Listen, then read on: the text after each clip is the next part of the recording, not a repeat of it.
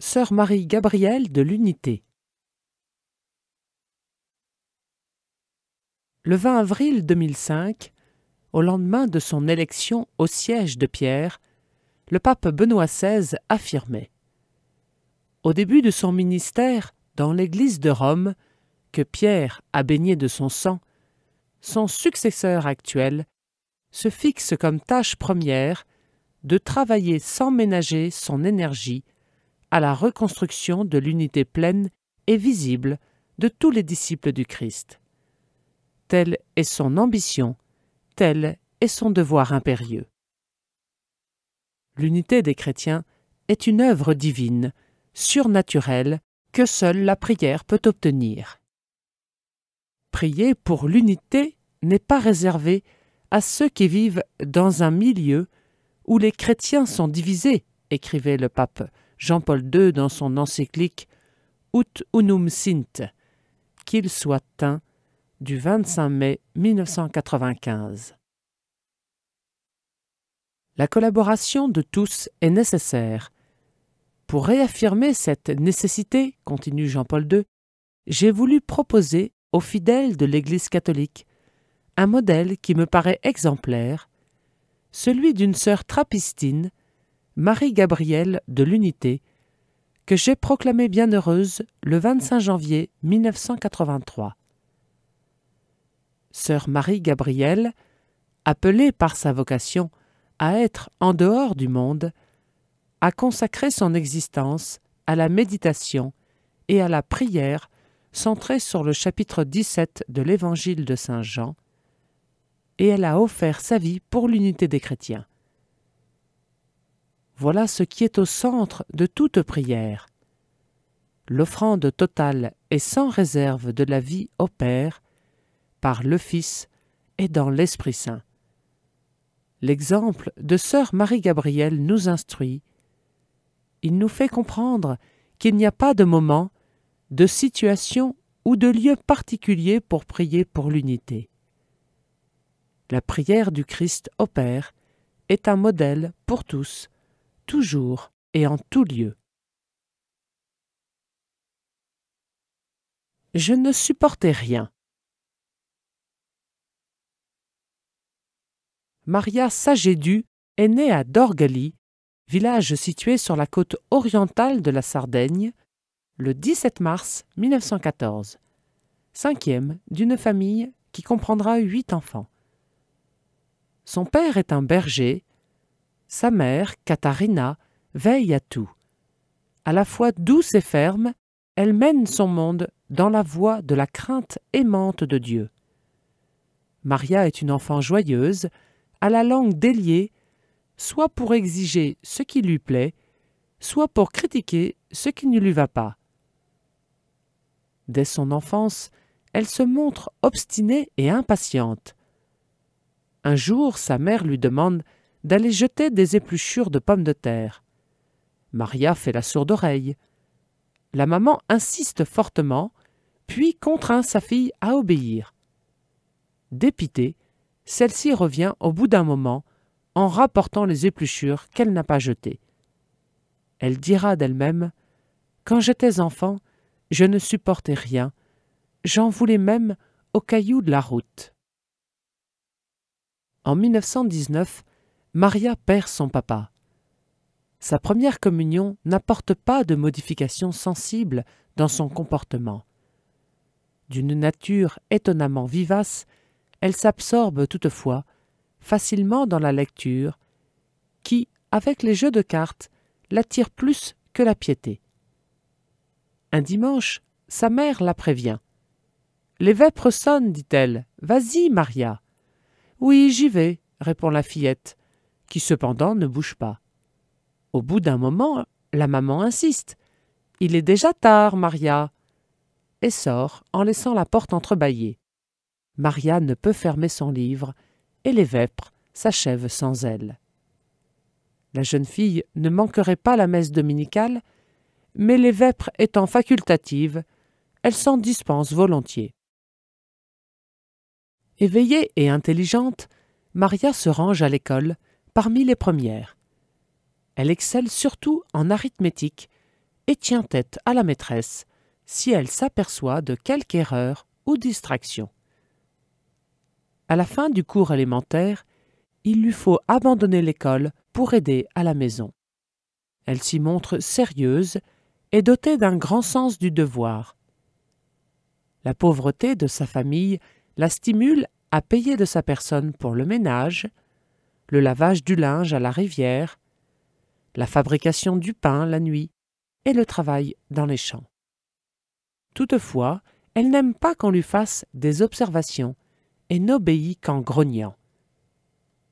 Vers l'âge de quatorze ans, consciente de ses défauts, elle refuse d'entrer dans l'action catholique qui réunit les jeunes de la paroisse, car elle ne se sent pas prête à répondre aux exigences d'un tel engagement.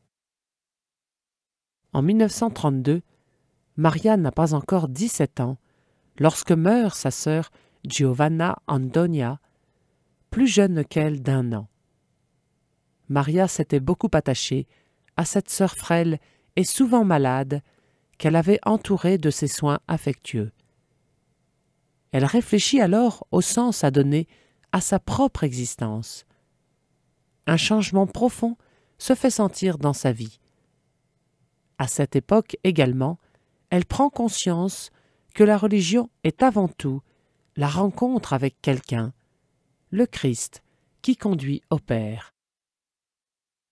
Dans son encyclique Deus Caritas Est, le pape Benoît XVI écrivait À l'origine du fait d'être chrétien, il n'y a pas une décision éthique ou une grande idée, mais la rencontre avec un événement, avec une personne qui donne à la vie un nouvel horizon et par là une orientation décisive.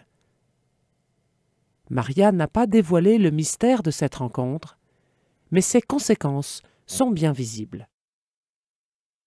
Faisant fi de sa fierté native, elle s'inscrit à l'action catholique, se porte volontaire pour l'enseignement du catéchisme aux petites filles, passe de longs moments en prière et devient douce et délicate.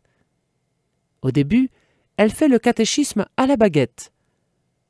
Mais un jour, le vicaire enlève la baguette et met à la place un billet avec ces mots Armez-vous de patience, dit-il, et non d'une baguette. Maria accepte la remontrance et change de méthode. Où vous voudrez. Maria lit dans l'introduction à la vie dévote de saint François de Sales que certaines jeunes filles quittent le monde pour le cloître. Pourquoi pas moi? se dit-elle. Deux ans durant, elle réfléchit beaucoup et refuse des demandes en mariage qui lui sont faites. Enfin, en 1935, elle s'ouvre de son dessein de vie religieuse au vicaire, dont Mélonie, qui ne se presse pas de lui donner une réponse affirmative. Toutefois, avant de partir pour une autre paroisse, où il est nommé curé, dont Mélonie demande à Maria où elle veut être religieuse. Envoyez-moi où vous voudrez, répond-elle. Son désir est d'être au Seigneur, peu importe le lieu. Le prêtre l'oriente alors vers la trappe de Grotta Ferrata, près de Rome. Mise au courant, Madame Sagédu accepte, mais reproche à sa fille de n'en avoir rien dit plus tôt. Malgré l'opposition d'un de ses frères, qui estime qu'elle déshonore la famille, Maria entre à Grottaferrata le 30 septembre 1935. Là, elle trouve un monde nouveau qui l'impressionne fortement. Quand, au parloir, la grille s'ouvrit, dit-elle, et que je vis des choses nouvelles, et entendis des paroles inaccoutumées, il me sembla que le paradis s'ouvrait. Si vous entendiez chanter les sœurs, vous croiriez entendre des anges, écrit-elle à sa mère. Elle prend le nom de Marie-Gabrielle. Son adaptation se fait progressivement. Au début de sa vie religieuse, écrira une sœur, l'impatience, qui était son défaut dominant, n'avait pas disparu. Un jour, ne la vit-on pas s'impatienter contre la mère maîtresse parce qu'un couteau lui paraissait trop petit et impropre à éplucher? Un autre jour, elle frappait à la porte de la mère abbesse. Pas de réponse. Elle recommence, même silence, et cela six fois de suite. Elle finit par donner un grand coup de poing dans la porte et s'en alla tout irritée. Elle n'aimait pas perdre son temps. La sous-maîtresse lui fait remarquer au réfectoire qu'elle ne mange pas assez de pain. Sa réponse fuse aussitôt. Ce n'est pas à vous de me faire cette observation. Je mange ce que je veux, moi. Les deux moniales se séparent fâchés. Mais ces saillies ne font pas oublier les grandes qualités qui constituent le fond de sa nature. Une totale droiture, un dévouement inconditionnel, une grande promptitude à s'humilier et à renoncer à ses vues dès qu'elle reconnaît que les autres ont raison. Elle est prête à se rendre partout où elle peut être utile. La seule crainte de sœur Marie-Gabrielle est qu'on la renvoie de la communauté.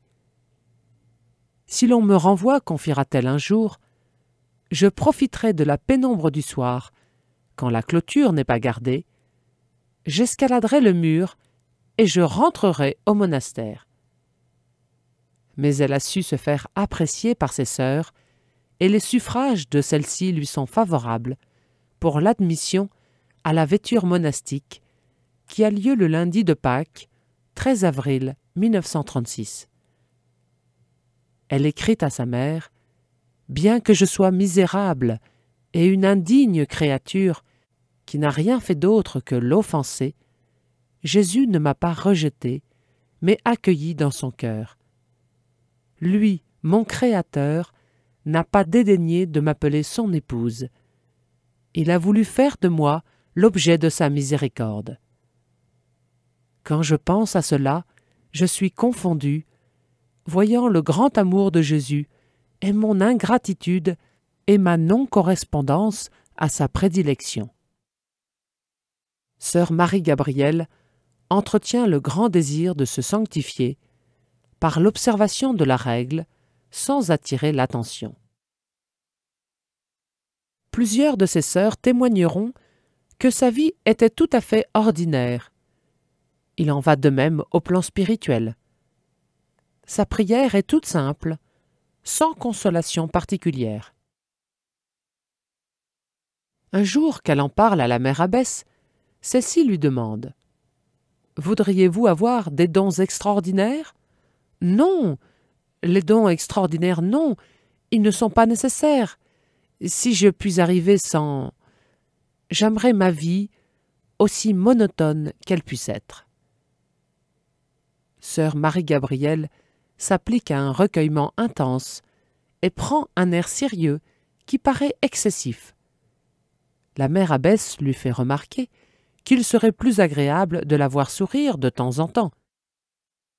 Bientôt son visage se détend, et l'attention fait place à une expression douce et sereine, puis à un sourire qui ne la quittera pratiquement plus.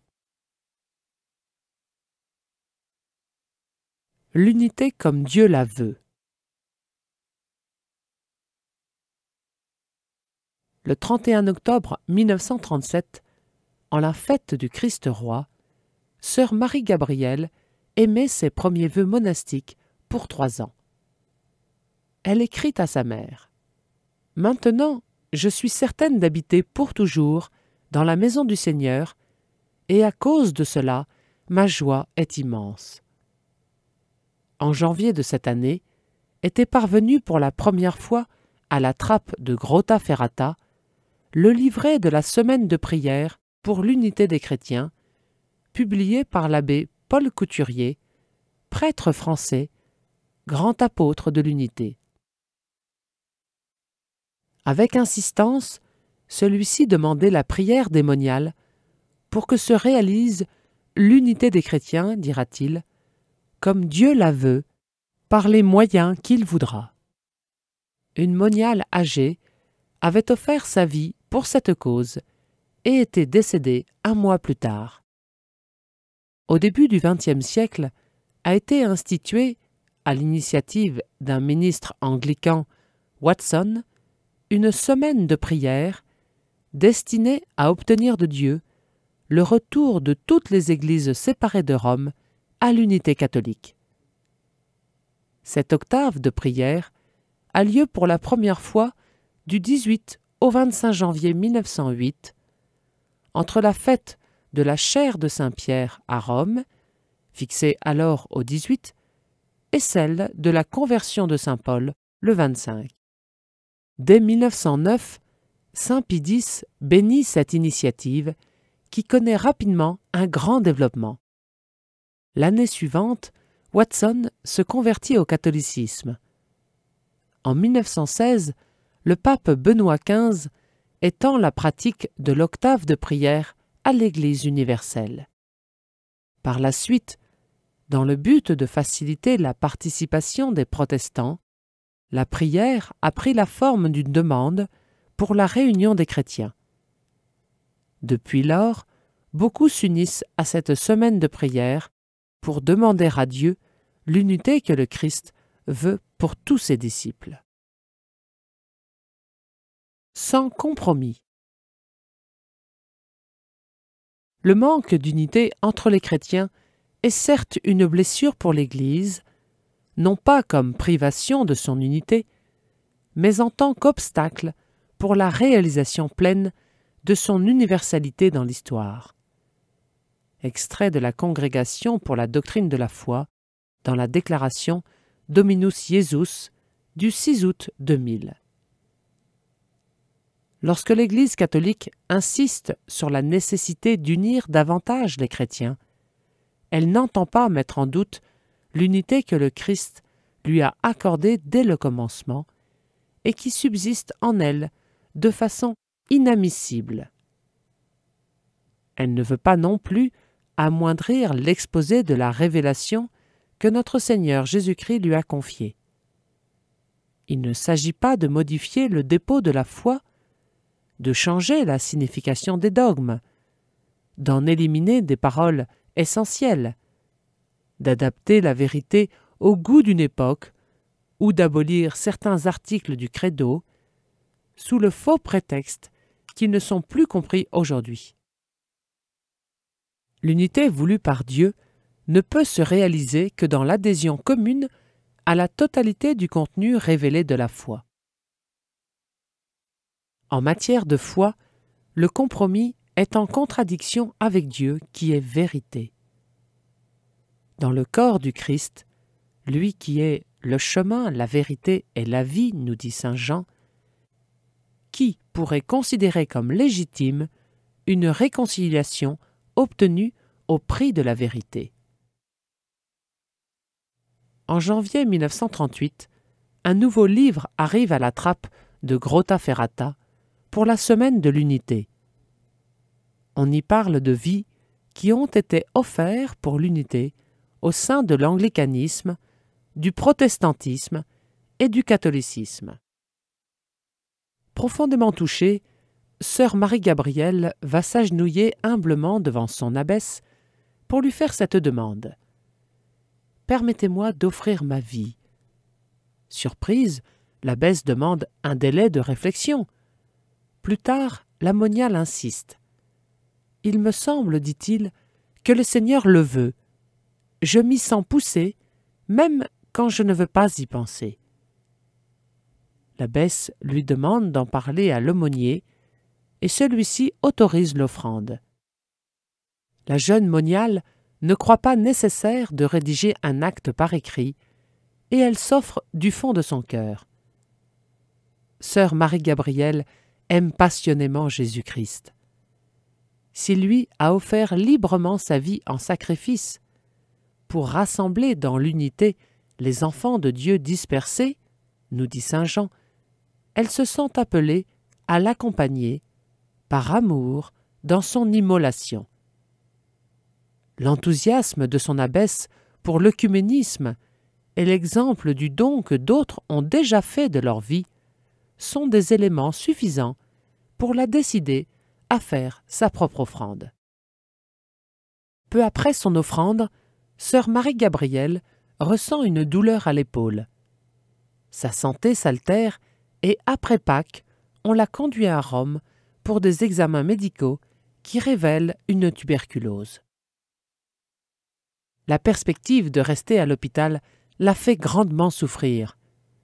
J'ai tant pleuré que je n'en puis plus, écrit-elle à son abbesse. Parfois je me demande si le Seigneur ne m'a pas abandonné. D'autres fois, je pense qu'il éprouve ce qu'il aime. Je finis toujours par m'abandonner à la volonté divine. Quelques jours plus tard, elle ajoute Je me suis offerte entièrement à mon Jésus, et je ne veux certes pas retirer ma parole. Je suis faible, il est vrai, mais le Seigneur qui connaît ma fragilité et la cause de ma douleur me pardonnera, j'en suis convaincu. Elle est assaillie de pensées contre ses supérieurs, qui lui semblent manquer de cœur en la laissant à l'hôpital. Mais elle se rend compte que c'est là aussi une tentation qu'elle s'applique à chasser. Au début du mois de mai, elle est sur la croix, sans autre consolation que de savoir qu'elle souffre pour accomplir la volonté divine. Un trésor à ne pas partager. Quinze jours après son hospitalisation, elle est transférée dans un pavillon de cure où les conditions de vie sont moins pénibles. Elle demeure cependant consciente de ses faiblesses. Depuis longtemps, écrira-t-elle, je me suis aperçue que je n'étais qu'une pygmée dans les voies spirituelles, car je me laisse emporter par tout vent qui souffle. Je voudrais être forte, forte comme l'acier, et je ne suis qu'un brin de paille. Cependant, le mal progresse, et devant l'impossibilité de l'enrayer, on accorde à la moniale la permission de retourner terminer ses jours au monastère. Sœur Marie-Gabrielle est angoissée à la pensée que sa présence en communauté pourrait faire courir à ses sœurs le danger de la contagion mais d'un autre côté, elle ne veut pas mourir loin de son monastère. Finalement, elle rentre à Grotta Ferrata le 29 mai et y prend toutes les précautions nécessaires pour éviter de transmettre son mal aux autres. Elle ne perd d'ailleurs pas le sens de l'humour et dit un jour à l'infirmière qui s'approche un peu trop d'elle. Le Seigneur m'a donné ce trésor de la maladie, je ne veux le partager avec personne. Pas même avec vous, dira-t-elle. La mère abbesse lui suggère de trouver une devise qui l'aiderait dans les moments les plus difficiles. Elle choisit Ecce Anquilla Domini. Voici la servante du Seigneur. L'abandon entre les mains du Seigneur l'habite de plus en plus. Autrefois je pensais à mes péchés, mais maintenant je ne me rappelle rien de précis. Je suis comme une enfant. Je me suis abandonnée, et depuis j'ai une grande paix. Elle ne désire ni vivre ni mourir, mais accueillir ce que Dieu lui enverra. Quand j'étais à l'hôpital, dit-elle, je ne pouvais me résigner à la séparation. À présent, si pour le bien de la communauté, je devais encore partir, je le ferai sans hésiter. Certaines heures sont plus douces, et sœur Marie-Gabrielle les accueille avec simplicité. Mais elle n'attend pas de grâce mystique. Dieu ne m'en a pas donné, dit-elle, car je suis une porte ouverte à la vaine gloire et l'orgueil. Je ne désire pas de consolation. Elles ne sont pas nécessaires. La grâce suffit à tout elle puise une forte nourriture spirituelle dans l'évangile de Saint Jean. Le petit livre dont elle se servait présente des pages toutes jaunies par l'usage intensif qui a été fait des chapitres 12 à 20 du quatrième évangile et tout spécialement du chapitre 17, la prière de Jésus pour l'unité de ses disciples. le saut de crédibilité. Un jour, étendue sur son lit, sœur Marie-Gabrielle, très accablée, dit à Jésus Seigneur Jésus, je t'aime et je voudrais t'aimer beaucoup, t'aimer pour le monde entier. L'unité des chrétiens pour laquelle la Trappistine s'est offerte n'est pas sans lien avec l'évangélisation. Dès ses débuts, dit-elle, le mouvement écuménique a été intimement lié à l'évangélisation. L'unité est en réalité le saut de crédibilité de la mission. Le Concile Vatican II a fait remarquer avec regret que le scandale de la division fait obstacle à la plus sainte des causes, la prédication de l'Évangile. Jésus lui-même, la veille de sa mort, a prié pour que tous ils soient un, afin que le monde croie, nous dit Saint Jean au chapitre 17. La dernière nuit de sœur Marie-Gabrielle se passe en une alternance de moments calmes et de souffrances aiguës. À un moment, elle gémit. Je n'en puis plus. La mère abbesse lui demande. Voulez-vous offrir ce qu'il vous reste de vie pour l'unité? Oui, répond-elle distinctement. Enfin, après les vêpres de ce dimanche du Bon Pasteur, 23 avril 1939, elle exhale son dernier soupir avec un sourire. Par erreur, au lieu du tintement du glas, sonne un carillon festif auquel les cloches de l'église paroissiale répondent à la volée dans un concert de joie. L'exemple de sœur Marie-Gabrielle nous rappelle que tous les fidèles peuvent travailler à l'unité des chrétiens, d'abord par la conversion du cœur. Bien que l'Église catholique ait été enrichie de la vérité révélée par Dieu, ainsi que de tous les moyens de grâce, néanmoins, ses membres n'en vivent pas avec toute la ferveur qu'il conviendrait. Il en résulte que le visage de l'Église resplendit moins aux yeux de nos frères séparés ainsi que du monde entier, et la croissance du royaume de Dieu est entravée. C'est pourquoi tous les catholiques doivent tendre à la perfection chrétienne. Ils doivent, chacun dans sa sphère, s'efforcer de faire en sorte que l'Église, portant dans son corps l'humilité et la mortification de Jésus, se purifie et se renouvelle de jour en jour, jusqu'à ce que le Christ se la présente à lui-même glorieuse, sans tache ni ride. Extrait de Vatican II, Unitatis Redante Gratio. Le 19 août 2005, à Cologne, le pape Benoît XVI concluait une rencontre œcuménique par ces paroles.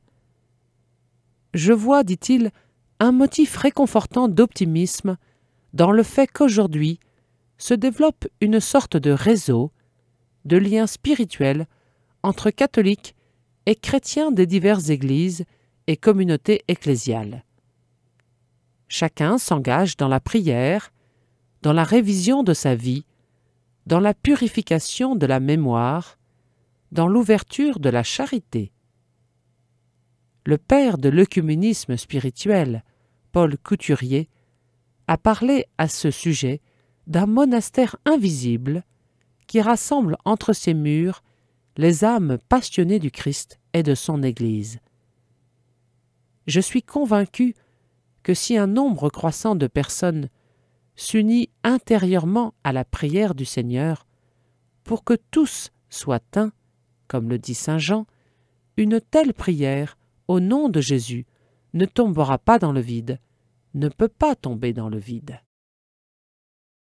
Demandons à la bienheureuse Vierge Marie, médiatrice de toute grâce, d'obtenir cette unité des chrétiens en un seul troupeau et sous un seul pasteur, afin que s'accomplisse la volonté de son divin Fils.